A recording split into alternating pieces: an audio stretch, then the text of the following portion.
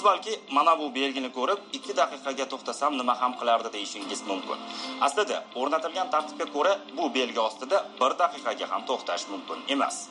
Toshkent shahar ichki ishlar bosh boshqarmasi mazkur muammoni innovatsion usulda yechimini topishni boshlab yubordi. Boshqarma tomonidan hozirda shahrimizning eng gavjum bozor oldi hududlariga tirbandlikni oldini olishga xizmat qiladigan to'xtash taqiqlanadi belgisi ostida qoldirilgan avtomobillarni qayd qilib boradigan to'rtta aylanma statsionar kuzatuv kameralari o'rnatildi.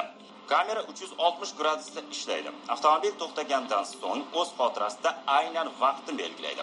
Oradan bir daqiqa o'tgach kamera yana o'sha gradusga qaratiladi. Agar avtomobil o'z joyida turgan bo'lsa vaqt va fotosuratni qayd etadi. Bu jarayonda hech qanday inson omili yo'q bu degani kamera 100% avtomatik tarzda ishlaydi.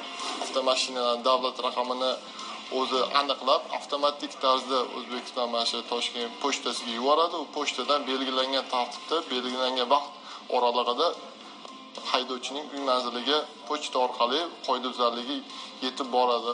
Toshkent shahar ichki ishlar bosh boshqarmasi tomonidan amalga kiritilayotgan bu tajriba yo'llarda tirbandliklarni oldini olishga tez yordam va maxsus avtomobillarning manziliga o'z vaqtida yetib borishiga xizmat qilishi bilan bir qatorda harakat xavfsizligini ta'minlaydi. Eslatib o'tamiz mazkur kameralar joriy yilning 10 iyul sanasidan qoidabuzarliklarni qayd etib jarima yozishni boshlaydi.